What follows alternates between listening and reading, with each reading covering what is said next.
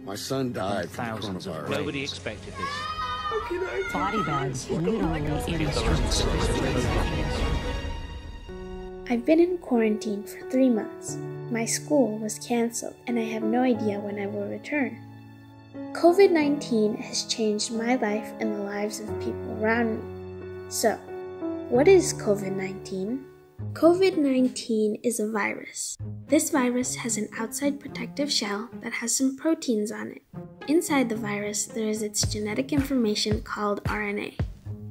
The virus is transmitted by droplets of saliva or mucus ejected by contaminated people, by touching contaminated surfaces, then your face, and from the contaminated air if you breathe it in.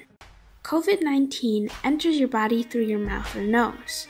Throughout our bodies, we have cells. When COVID 19 enters the body, it attaches itself to a lung or intestine cell by connecting its proteins to the cell's receptor. The virus inserts its RNA, hijacking the cell and making it a factory for more COVID 19.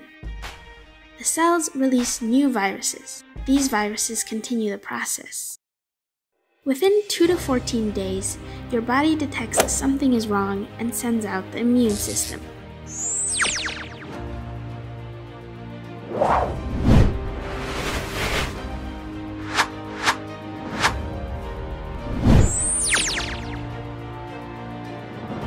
virus infects the immune system cells too. These cells begin to attack your own body because they don't know the difference between healthy cells and bad cells. Certain people are more likely to get this virus or die from it. It depends on your age, race, gender, and among others. But anyone can get this virus. The treatment for someone with COVID 19 can vary depending on their situation. A healthy and young person might have to stay in bed and self isolate, while an older person or person with immune system deficiencies could have to go to a hospital.